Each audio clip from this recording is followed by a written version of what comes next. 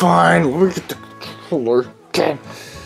Ugh, I don't understand. It, it seems like an easy game, but It is not! I'm telling you, Chef! Mario Bros. 2 is the hardest game on NES ever! Can we play Bubble Bobble? Later! okay.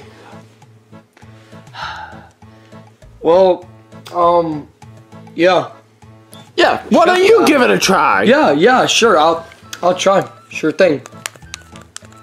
And ugh, that was a very quick two minutes.